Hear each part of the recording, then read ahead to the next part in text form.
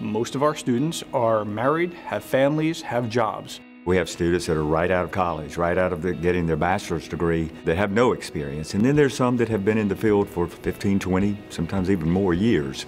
These students typically are looking for opportunities uh, to work at the management level and at the administrative level. Here, we know you by name. We try to help you specifically with what you need to grow. We keep our class sizes small and students are really able to have that one-on-one -on -one interaction with faculty. Our faculty is made up of a lot of practitioners. There's times that we close that textbook and say, let's talk about what it's really like in the field. One other thing that really sets us apart is we're able to integrate faith into the classroom. They're going to approach the material in light of a biblical worldview. So they're going to approach um, issues like the bottom line or the nature of how you treat people. We have an online aspect as well as an in-class aspect, and you don't have to do one or the other.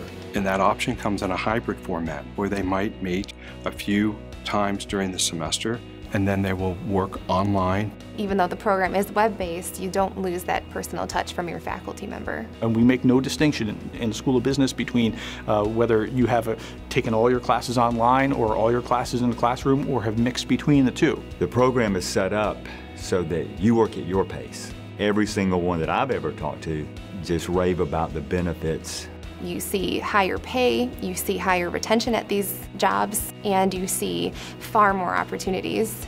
The transferability of what you learn here, it, it extends to every business you can imagine. You can still earn your graduate degree while you're working full-time and dealing with those challenges that life throws to you every day.